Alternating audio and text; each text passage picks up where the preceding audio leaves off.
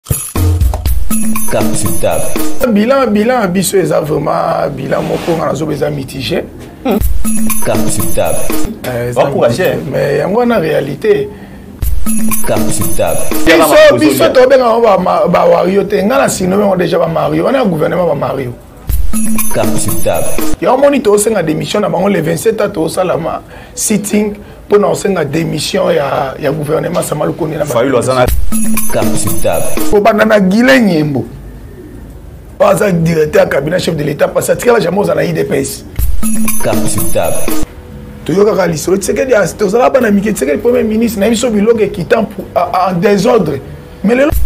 capsutable oh, idps au pouvoir biloko esala kaka sio sio sio sio komata nga komata capsutable elenge boloni nazosala malonga mon cher capsutable yango nazoi soki jusque lana na sentir idps na pouvoir te capsutable nga na kosentir idps na pouvoir mokona omona vraiment le peuple d'abord evandi quand on dit le peuple d'abord eloka liboso o oh, congolais azanano motu ezalaka awa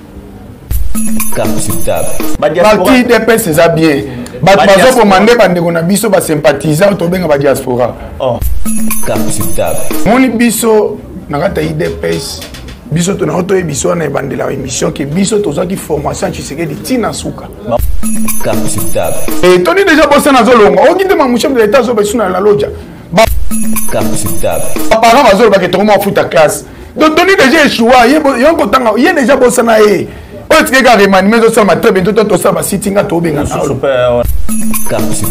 likaza libisila bazokanga ye moto abimisi deux fois mbongo trésor public ba 9 millions deux fois alobaka eseti na ye ayebi te deux fois donc david muke na mbongo fungulungi fungulungi 5 million 4 million wana david boyebi biso bacongolais towana makasi na badiabolo na motema mabe pesi diabo eza te idps bato baye na diabo eza bato baye nsima na kati ya parti bato ozotanga bakombo wana oyo bazoka kosutanira bato ça dépendait que de moi j'étais président de la république comme tshisekedi wa mulumba etienne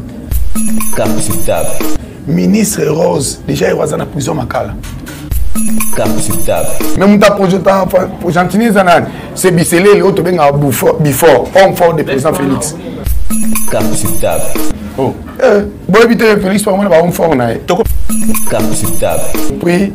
na baconseiller oyo baza cité na ba détournement mboka donc bato wana towana mposa justice ayoka bango kobanda na gile nyembo 27 oyo ya janvier boyebi ke ministre économie mpe gouvernement bamario bazosala eloko te